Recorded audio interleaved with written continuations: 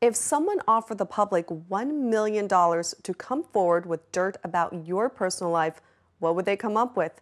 Thanks to Larry Flynt's recent stunt, we might just find some skeletons in the closet of some American politicians.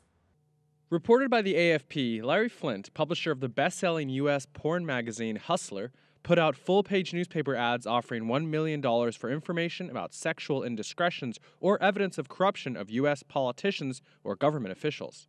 Flynt claims that if the provided information can be verified, it'll be published in Hustler while ensuring the anonymity of the sources.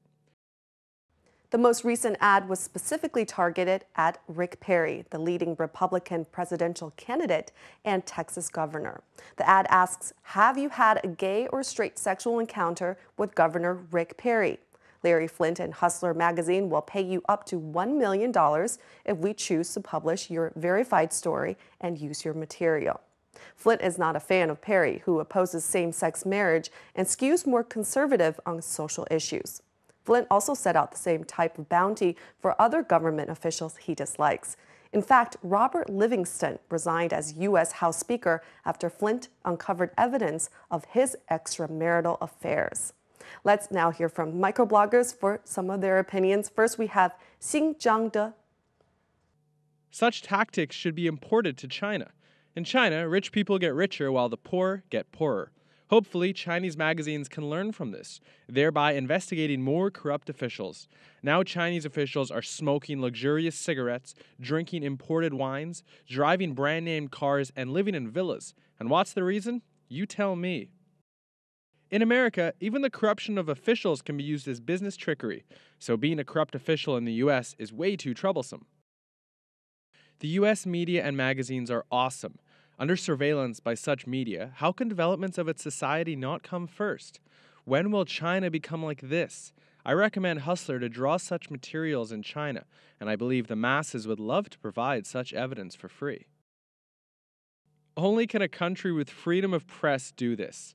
In China, no media can expose officials' dirty deeds openly unless the chief editor or the person in charge is ready to lose their job. That's right. If Larry Flynt did this in China, he would not only be out of a job, but he most likely be detained. However, China does have a system for exposing corruption. Both the central and local government, as well as the disciplinary commission of the Chinese Communist Party, have set up anti corruption whistleblowing hotlines and websites.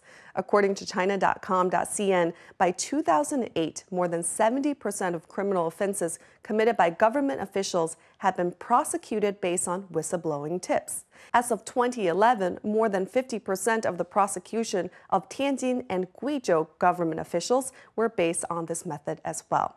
When tips are proven to be true and a conviction is obtained, the tipper is rewarded in both spiritual and material honors. The problem is the whistleblowers' identities have not been strictly protected, and many have been retaliated against, with methods ranging from demotion, detention, to even assassination.